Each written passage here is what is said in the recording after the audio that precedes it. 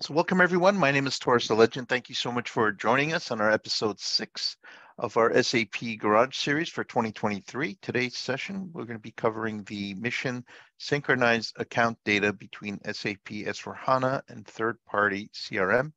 And our guest speaker today is uh, my colleague Sharik Anwar. He's an integra enterprise integration consultant at uh, Rojo Consultancy. He'll be covering this um, mission.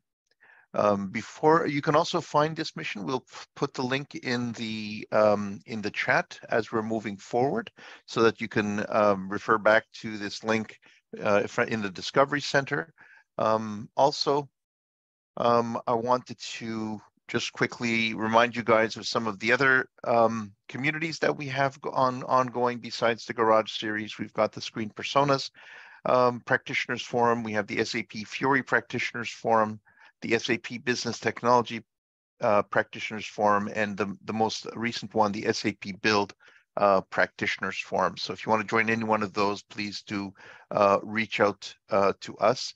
We've also got several webinars that are being planned. Uh, so we're looking at putting together a whole new SAP DataSphere series. So if you're interested in that, stay tuned for some dates.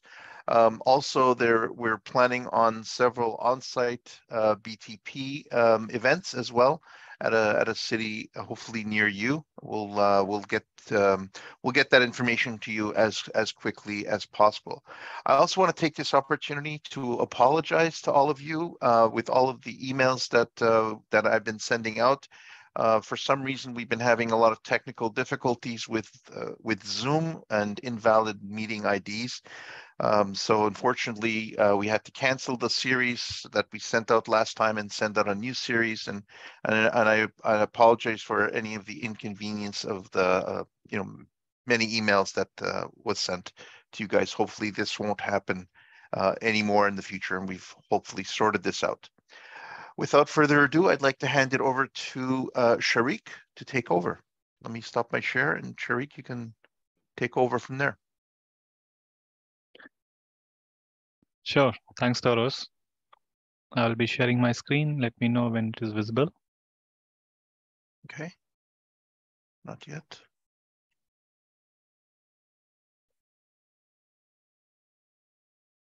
Yep, I can see your screen. Awesome.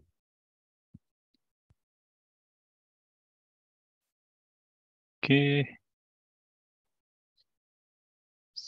So I believe my PPT is visible now. Yes, yes. Okay, cool. So let me introduce myself. Hi, good day, everyone, and thanks for joining us. Uh, I am Sharik Anwar, living in Netherlands and working at Rojo Consultancy as Enterprise Integration Consultant. Today, I will be taking you through the SAP mission scenario related to synchronize account data. Uh, before we jump into the mission, let me tell you more about Rojo itself. Uh, we are based in Netherlands, Spain, and India, and are operating globally. Rojo is quite unique in what it does. We are a company that focuses purely on enterprise integration and very much on SAP integration. Our goal is to become the global partner of choice when it comes to application integration with SAP and non-SAP systems. And that's exactly what our journey has been. Stay focused on our goal, helping clients with their integration challenges and enriching the partner platforms we work with. We collaborate with different partners and SAP being the first and most important one as well, as you will see in the next slides. Let's have a look at our portfolio. Um, it consists three main areas covering the full life cycle of an integration, where we have consultancy and innovation, we build integration for various clients across the globe. We create our own software to be deployed on our partner platforms. And last but not the least, managed services, where we manage the integration we have been building for our customers, as well as the softwares we have been creating, which are being used worldwide. They are being supported by our managed services team.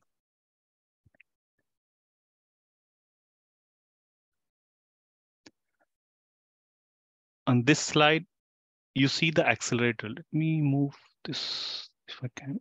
Perfect. So on this slide, you see accelerators, um, uh, which is which are available in SAP Cloud Integration, already available, and few of them are in the roadmap of 2023. In SAP world, accelerators are known as adapters or connectors. And these adapters help us integrate with application from SAP Cloud Integration. They hide the complexity, reduce implementation time and effort, and make integration more maintainable. These adapters are running natively in SAP CI, meaning they are available within cloud integration itself. You don't have to switch to different application, different platform to use them. These adapters are developed based on market demands and requests from various customers. If I name few, uh, you see here, the recent ones are added like an example, Coupa, Azure Data Lake, uh, Azure Blob. Uh, we are uh, working to launch Oracle NetSuite in the coming uh, months. And the one on the right side you see here is Salesforce as CRM applications used worldwide. And this is the adapter we are using in our current SAP scenario as well. I go further.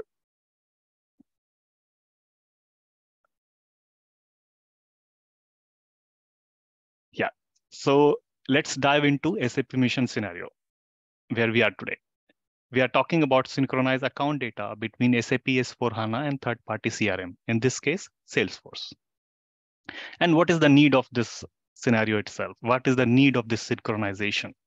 So let's take a step back. Organization nowadays have multiple systems in their landscape. They use different systems for different business needs. But at the same time, they want all these systems to talk to each other, work seamlessly for their business processes to run.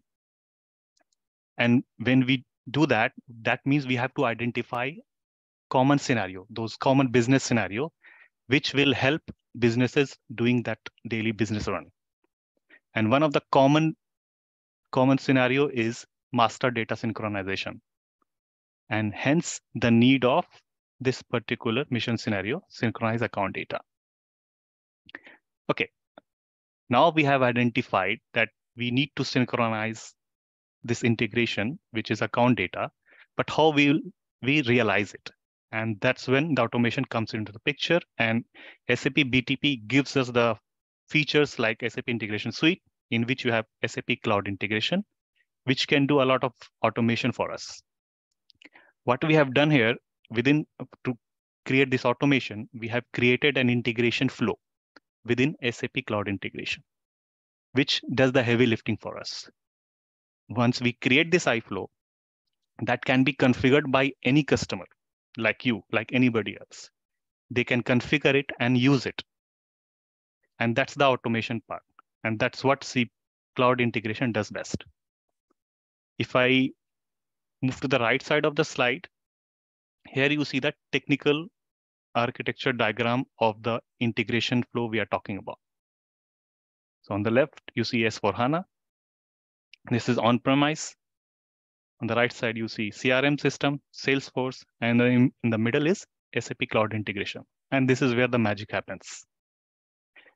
So the diagram is such a way that on a periodic basis, at a regular interval, the cloud integration connects with S4HANA, queries the business partner data from S4HANA.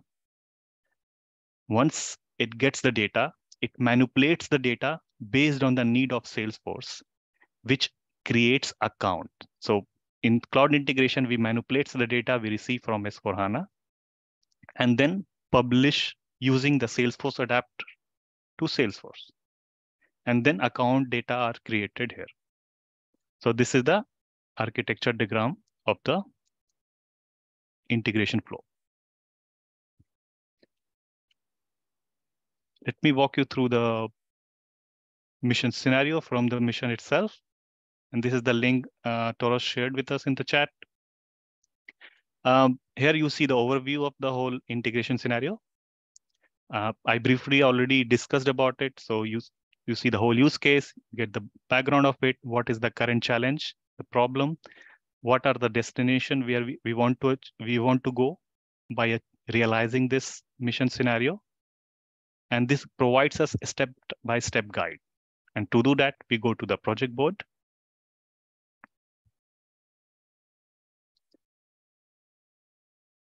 In the project board, it gives you, um, it guides you through the whole process of realizing this mission scenario in a project way.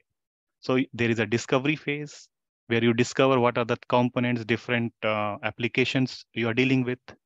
You have an understanding phase, so understanding the use case itself. Then the setup, so there, there are different setup needed for each of these applications. Then you configure those applications based on the need of this scenario. And at the end, we configure and deploy the integration flow which we have created and then verify it. So I will jump right into the uh, understanding phase because here it's about, as we all know, it's SAP integration suite. So we get familiar with it. We get familiar with SAP S4HANA and then understanding of the business scenario. Okay.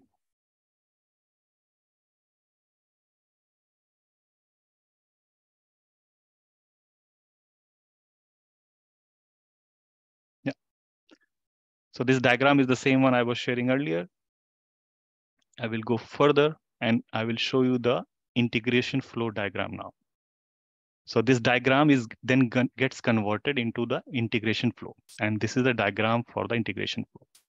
Again, you have on the left side, SAP S4HANA. In the middle, you have cloud integration of integration suite. And on the right, you have Salesforce. In the integration, what we are doing, we are on a regular basis querying the business partner data from SAP S4HANA. And as a result of the query, we receive the results from SAP S4HANA. And then we validate if we have records to integrate with Salesforce. If there are no records to be integrated with Salesforce, the process ends here. Once we identify that there are records which needs to be sent to Salesforce, we capture them we split them. And for each record which we receive from SAP S4HANA, we need to transform them because both of the systems are, uh, they have a different structure, of course. So once we get it, we need to use, we are using a mapping. For those who are familiar with uh, cloud integration, they know message mapping quite well. So we are using a message mapping here where we transform the data which we got from SAP S4HANA in the format which Salesforce is accepting. To be more specific, in the account object. We transform it, we filter it based on our needs, and then we push it to Salesforce. And that's where the integration ends. This gives you the overall picture about the architecture diagram and the integration diagram as well. Let's go next. Now comes the setup part. So here you have a link, how you set up the S4HANA itself. This is about setup of the tenant. I will walk you through about the further step, what we need to do in S4HANA to realize this mission scenario.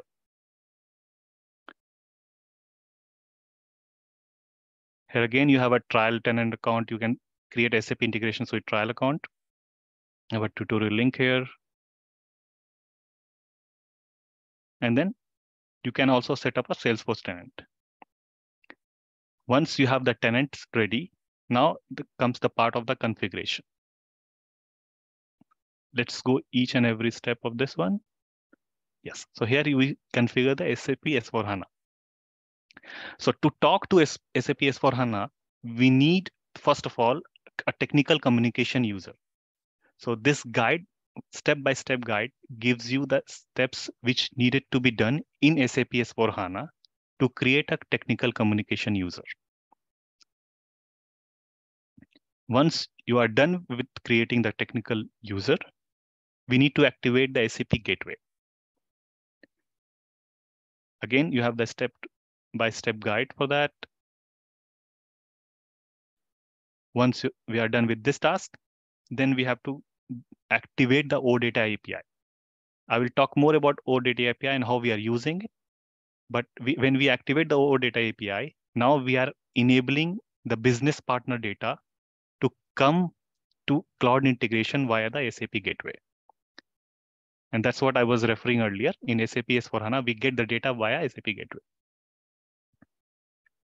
So these are the three steps of configuration we have to do in SAP S4HANA so that the data can be captured via the OData protocol. Let's go next. Configure Salesforce. So what we did so far, we configured SAP S4HANA so that we can get data from there. Now, to make a connection between SAP Cloud Integration and Salesforce, we need to enable Salesforce OAuth credentials. And to do that, here are step-by-step -step guide, which you can perform in Salesforce itself to capture the credentials. So an example, we need uh, login URL, we need uh, client ID, client secret, and uh, token. So these are the steps we need, and you, you can perform it to capture those information. I can guide you in the further process how, how we are using the, the credentials we are creating in these steps.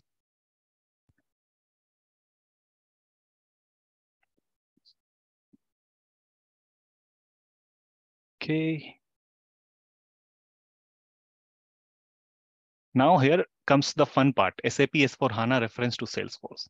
Uh, let me give you the background of it. We created the credentials in S4HANA. We created the credentials in Salesforce, which we are going to use in SAP Cloud Integration. But once the data starts flowing in from, from system SAP S4HANA to Salesforce, we want some correlation ID between them. Because how will you know that certain business partner in SAP S4HANA, which was which one it belongs to in Salesforce. So in Salesforce, you have the object as account. In, in S4HANA, you have an object as business partner. So what we are doing here, we are creating a custom field in Salesforce under an object account. And while doing the integration, we are putting the business partner number in Salesforce. So then it creates a reference for us we can go back and we, whenever we see a record in Salesforce, we can already identify which business partner it belongs to from SAP side. And that's the beauty of the reference here. And to do that, uh, we need to perform these activities. So we go to the Salesforce, we do a we go to the setup screen, we go to the accounts, we choose the field, and then we, an example you have you see here a suggested name. So we named it SAP reference partner number. And then we enable the checkbox external ID. And this is what we are going to use in our integration flow.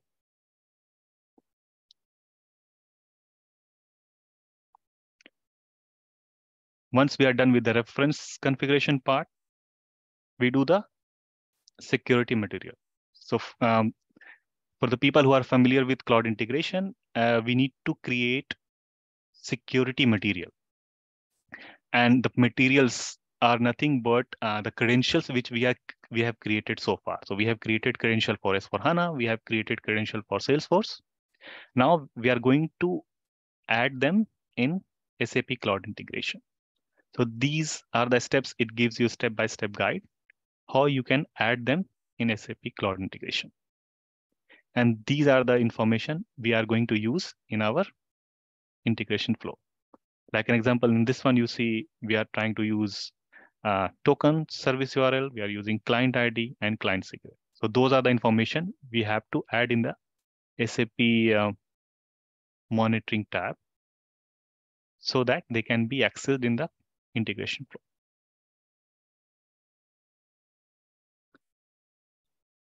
Once we are done with that, we will go to the integration flow itself. This part I have already explained you previously, so I will go further.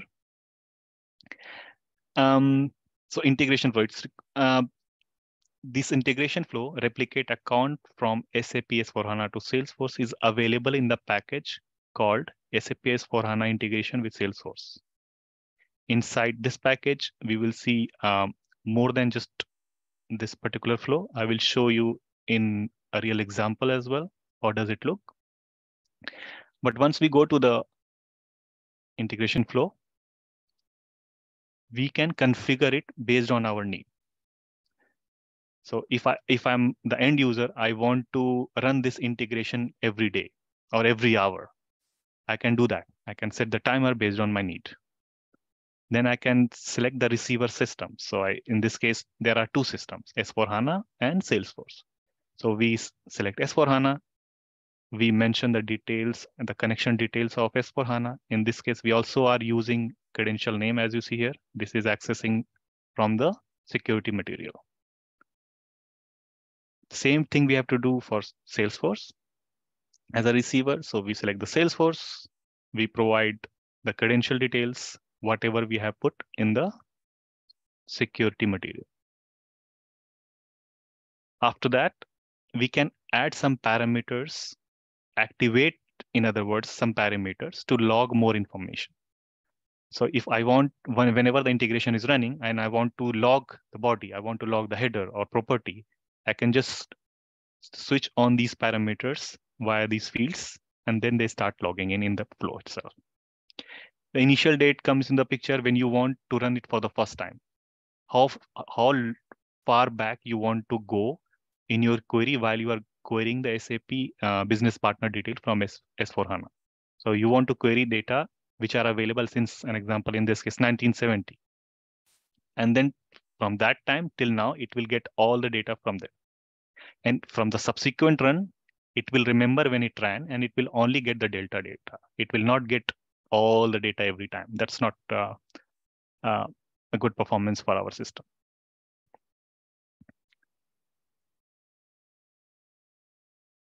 Once we configure it, the time comes for our verification. So once you configure, you deploy the integration flow, we follow these steps to see the logging of the integration which is running. So these are steps which we can do. Uh, let me show you the integration package and integration flow itself. Yeah. So the integration flow I was talking about is available under SAP S4HANA integration with Salesforce package. And here you see a lot more than just account. Um, you see iFlow related to replicate sales order, sales contract. Uh, we see some iFlow related to product master data. And for each the steps I provided, it's also available in the documentation guide here. When we go to the artifacts, these are the iFlows, which can be configured based on our need. And today we are talking about replicate account from SAP S4HANA to Salesforce. Let's go to this particular one. And this is the real flow. This is the real iFlow, which can be used and configured based on the need. Let me start with this. So as you can see, this is the timer. We configure it based on whatever the configuration is required from my business side. If I want to run it daily, hourly, it's up to us. It sets some parameters, some properties in it. And afterwards, it makes a connection to SAP S4HANA using OData protocol. And this is where the credential material we created is being used here. And obviously SAP S4 HANA on-prem, we are talking about S4, S4 HANA on-prem. So it goes via Cloud Connector. And this is the Cloud Connector uh, location ID I'm using here. In the processing tab, you see I'm trying to access the business partner. This is the query and the filter option. Once we get the data, we check whether there are records to be synchronized with Salesforce or not.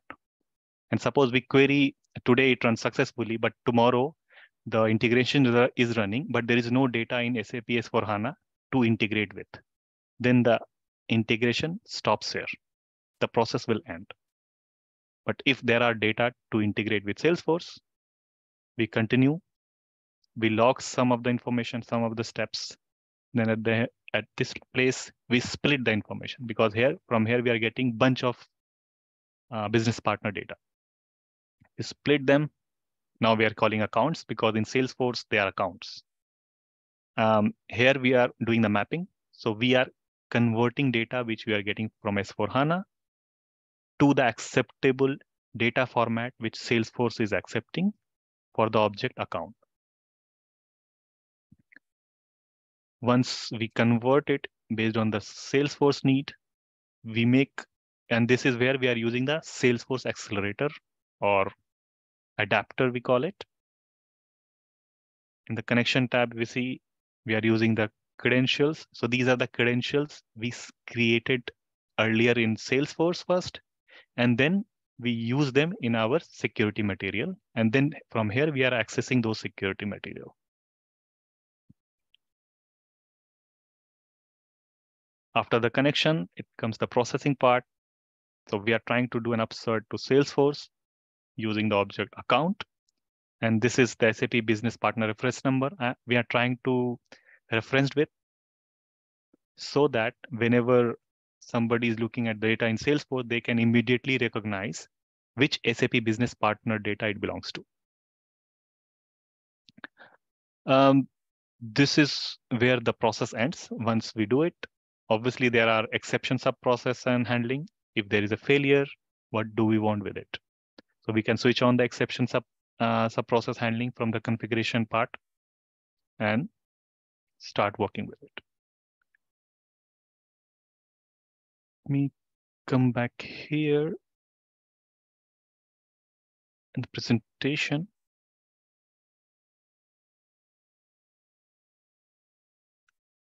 So Sh Sharik, did you want to Yeah. go through some questions before you go on? Yeah. Uh, with your presentation? So it Sure. seems like there's a number of questions in the chat. Mhm. Um, one from Guy, uh, are all business partners being extracted at once, full extract? If not, um, and use Delta, how does it keep track of and make sure only changes are being extracted? There's Okay, a- a very good question, Guy. So uh, what we are doing here is, let me go back here in the configuration and I will show you the example from this side. So when we were talking about configuring the iFlow, we were also talking about initial date. So when we run it for the first time, it will get all the business partner data which are available in S4HANA. Yeah. So the first run, it gets all the data. But while it is integrating data with Salesforce, it will remember when it ran for the first time. And then it will save the date information in cloud integration. And then it will reuse the, the save date in the subsequent execution. So in the next run, it will only query the delta information rather than the whole SAP S4HANA business partner list. And that's what we are using um, the date. And if I show you from the integration perspective, we are capturing the date and then we are setting the date. And then saving the data as well. And that's why you see uh, different shapes here, which remembers when it ran the last time. So from when we when it runs the next time, it will only query the data which has been created or updated since the last time the integration ran. Mhm. Okay. So there's one from Stefan. Uh, can the business partner changes also be captured via the events uh, instead of polling? Uh, for this particular integration flow, um, it will be via polling, but of course it gives you a starting point. And when you start working with it, you can manipulate it based on your need. So then if your SAP S4HANA is allowing via API, API gateway via events, you can use it. But for this integration flow, you have to edit it based on the need. Okay, then uh, maybe another one from Guy. If event-based, then something in S4 needs to trigger, trigger it whenever a business partner is changed. What are the options? uh, use an on-publish body or as in S4 and call CPI. Uh, with the business partner number, are there other options not required requiring a business partner specific body? So there are two ways. Um, because generally when we're talking about the events, there there's a whole new world altogether. Um, but if I stick to it, um, obviously uh, we have seen customers who wants to uh, synchronize based on the events. So they get in the event, they get only the an example business partner, and then they query the whole data of that business partner in a separate call, so that the event data doesn't gets too heavy right? Because when we are talking about the events we want everything to run fast. It it should not stay in the event too long. And then sometimes you have uh, some limitation from event perspective as well. But again then you have to edit your iflow based on the need. Okay. Let's just do one more and then we'll go back to your presentation. Uh, one mm-hmm. from Mikhail. Uh, is this scenario delta or full replication? What is the performance if you have hundreds of thousands of uh, bp records? Yeah. Uh, a very valid question. Um, so obviously we we should follow the SAP Cloud integration best practices, and that's where and along with that, the timer. So if you know that when you are running an example once in a week, and you know that you are going to get hundreds and hundreds, thousands of records, you want to run it more frequently.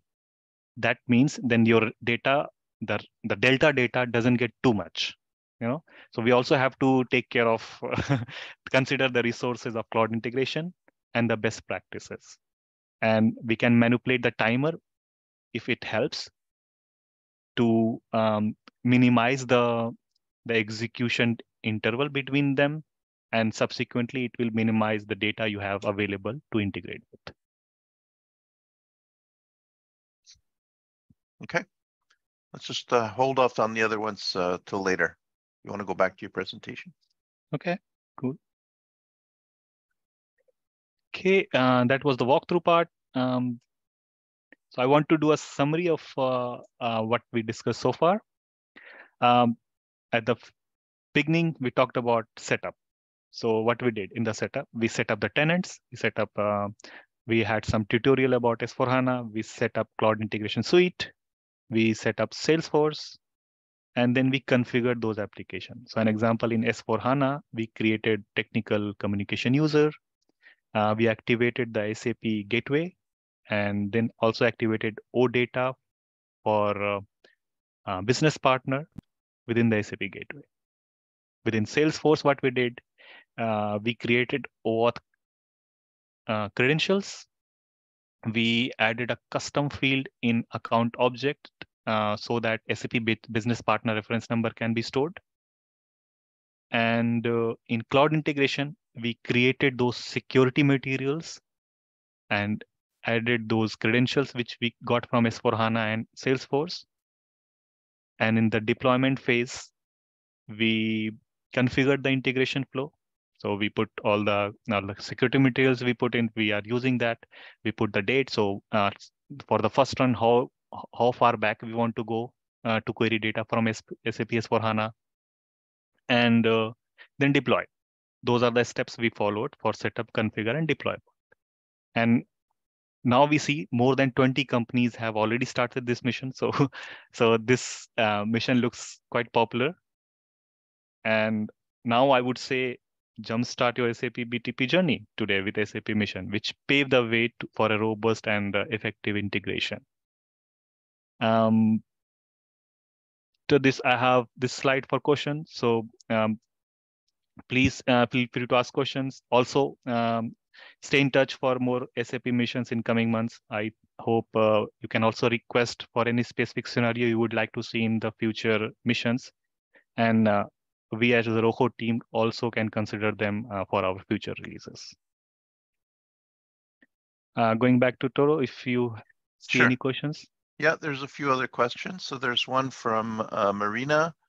Um, her uh, question is, does it have uh, does it have the new Salesforce adapter and do we need to download the adapter from Software Center for Salesforce? So now we, in the, we are in the phase of having the Salesforce adapter automatically available in cloud integration. Um, so far, customers can easily download it from that launchpad. And uh, let me see if I can show you that part. But you can download it from that uh, as long as you have basic cloud integration license. You don't have to have any special license for it, and you can download and use it. It comes with an uh, with a workbench which helps you in the mapping document. Hope this answers your question. Mm -hmm. Okay, there's another one from Guy. Um, is there, if there is a daily delta and for some reason one day the iFlow does not run, only the next day, uh, mm -hmm. is mm-hmm. it going to miss one day of the changes because it only looks at the changes within the day? Yeah. Uh, a very valid question. So what we are doing here in terms of uh, the delta time, we are saving it after we got the data. So there are there we are quite safe in that sense because if we miss suppose uh, you have a maintenance of cloud integration uh, and the cloud integration you are not doing anything that day but after that day if you run in the next day it will remember only the date which was successful run the last time so you are covered in that aspect Okay. Another one from Marina. If it's uh, event-based, do we also need to use event mesh? Uh, that one is outside the scope of this particular mission scenario, but um, I, I can jump in as well, Sharik, if you want. John? Yes, here. please, John. Yeah, so it depends. Of course, it's event-based. There's many ways you can configure it. Uh, but if you have S4, for instance, on the other side, uh, you use the standard events, which uh, you can configure, obviously. In that case, you don't need event uh, mesh. but obviously, it depends on your choice. You could also include it in between, in which case you will have to send the sender, you will have to put a sender you know, uh, you know, instead of uh, scheduling, uh, yeah, the way it is now. I, I hope it's a bit clear. Yeah. Okay. I want to thank, uh, thanks Roberto for your your comments along the way. You've been answering some of the questions as well. Thanks for that. Um, the next question, uh, Michelle, from Michelle, is it only possible to read the Salesforce data in S4HANA or also um, wrote data in S4HANA and write them back to into Salesforce. Mm -hmm. Sorry, okay. can yeah. I go as well? Yeah, please. please, please, please. In, in, in this specific mission here, we have very specific flow eh, for most demanded, uh, let's say, uh, yeah, scenarios. But obviously with the adapter, you can use the adapter to build any flow you want right? Uh, and then you can mix and match as you wish, because at the end of the day, it's an iPaaS, right? You can orchestrate as you wish uh, with the adapter. Whereas these specific missions have been made to cover very specific scenarios that we have, you know, uh, got requests from customers. And just to add in that point, um, in the same package, we have account update scenario, and there we are taking data from Salesforce. So we are getting querying data from Salesforce and putting it back to S4HANA. So you have another iFlow which might help you in this another use case or guide you how to start with. And there's another question from Michael. How does the queuing work when one of the systems is in maintenance mode or simply down?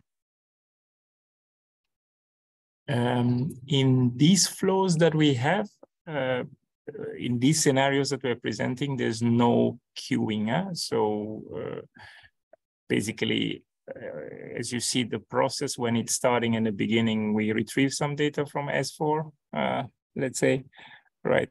So, and that there's no queuing involved in this specific case, right? Um, and uh, also in Salesforce we push it. So maybe I did not understand the question well, but. Uh, so, Michael, if you want to unmute your line and and uh, and cl uh, clarify your question. It's Michael G.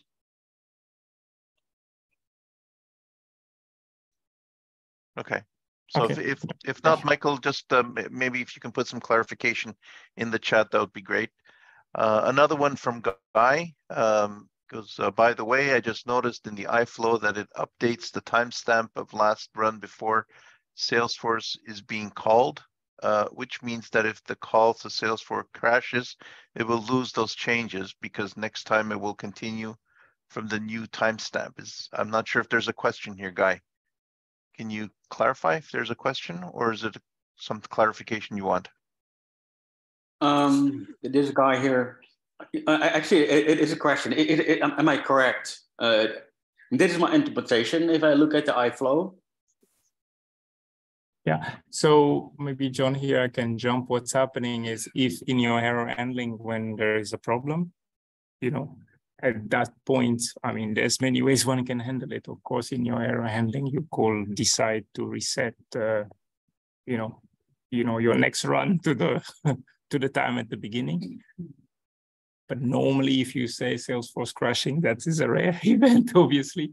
But in your error handling, you call reset it back to the previous mode, for instance, at the previous time. or there's no rollback, or or or let's say you, you know, like Yeah. made after it was successful. It's so you, the way it is right now, you, you kind of have to have some manual process to. No, you can well, rollback you cannot do because obviously if you update something in Salesforce, it is updated unless you really make an operation to undo it. But there's no rollback. But I guess because it's you overwriting objects, right? In this particular case Yeah. in Salesforce. So if you set the time, the last run time to the to the time that you had before running this flow, what you're basically effectively doing is to go back in time and reset again the, you know, refetch the data. If it Yeah, makes sense. or, or, or- or maybe just maybe just update the last run after the Salesforce call, and o- Yeah. only if that's successful, then As update. well, Yeah, Yeah. That. That, that- that's simple. that's, there's many ways to, to handle it, but I, of course, it depends on some requirements that we could go through as well, you know. Yeah. Great, thanks for that clarification, Guy. And for the answer, Jo- uh, uh, John, uh, maybe before we, we uh, get to the other questions, uh, John and, and Sharik, maybe if you guys want to type in your, your email address in the, in the chat so that if people have questions after our call today, uh, they can reach out to you as well. Okay. Um, There's, there's one uh, question here from Jim. Um, Will there be any difference in the license cost running uh, more real time uh, versus uh, polling data? Um, shall I, shall I go? You want to Yeah. go? Feel free, John. No, because uh, for first for the adapter, it's included in your license, so you don't have to pay extra for it. And if it, from S4 at least, if you use the normal standard events uh, with uh, CPI, there's no extra cost. But of course, if you introduce an event mesh in between, you have then cost for the event mesh. But you know, so it really depends on how you combine it. But if you just have to, yeah, with, with these specific flows that we're showing you, there's no extra cost. Mhm. Okay. And it seems like uh, Michael from earlier has given a clarification to his question. As to my question related to queuing, I im, imag, I'm, I'm assuming that's imagine. I imagine there is also real-time replication, um, which requires a queue. How would that work, especially if I want to restart my queues? Uh, we will uh, still have to understand because if you say real-time replication here, it will mean that in S4, you're letting S4 push the events to you. So it means that those queues will not be at least in the integration flow at this moment, right? And on the uh, Salesforce side, it's also not involving the queues. So, you know, it will be event sent to your integration flow and your flow pushing it. We have actually customers who have flows like that, right? So where we're accepting events and then pushing it further. But Sharik, you wanted maybe to add something or not? No, it's fine, John. You are al- you have already answered. So from Salesforce side, we are using um, REST um, protocol. Um, so there is no queue involved in that uh, aspect from from source side. Obviously, in this particular scenario, we are using OData pulling approach. So we query the data. And John, you already answered about the queuing approach from S4. Mm-hmm. So that was. So Michael, Michael G, if if uh, if uh, if the answer your question hasn't been answered, maybe if you want to unmute your line and and ask it, or if if it has, just let us know that we've answered your question. Mm. And Michael, you can also contact us per email. We just put our email IDs here. We can arrange a separate call if you wish and go a bit more in detail. Seems like the last question, at least in the chat for now, is uh, from Jan. Um, his the question is, how is this different to SAP Open Connectors? Yeah. Okay. Uh, the difference is Open Connector is obviously, yeah, and that, you know, it's it's next to the integration suite, but these adapters here are built in in your integration directly in your uh, cloud integration. Okay. So uh, for, for these flows, for these adapters, you don't have to leave cloud integration. You still remain in cloud integration. So it's the same as if you will use the OData adapter or you know, any of the other standard adapter. And all the monitoring happens in integration, uh, in a cloud integration as well. Okay. So I don't see any any additional um, any additional uh, questions in the in the chat. If you guys have any additional questions, please do take this moment to um, ask your questions. If not, you can unmute your line and ask your question by audio.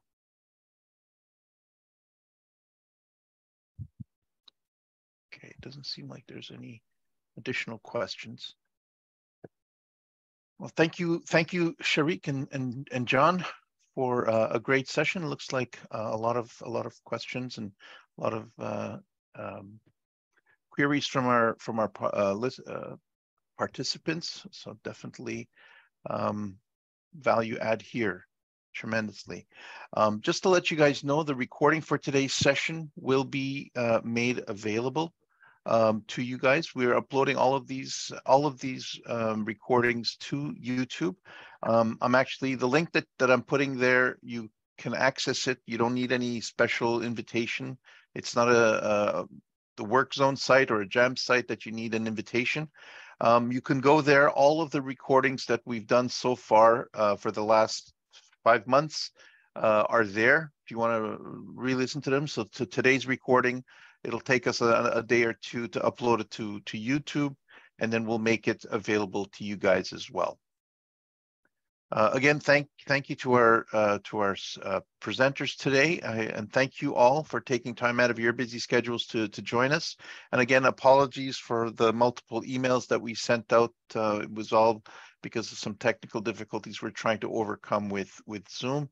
Hopefully, next week things will run a little bit more more smoothly please join us again um, next month. Um, we our next session will be on July uh, the the fifth, I believe, if I'm not, I'm not, mistaken. We have another great mission lined up for you guys today uh, at that time. Thank you again, and have a great morning, afternoon, or evening wherever you're located.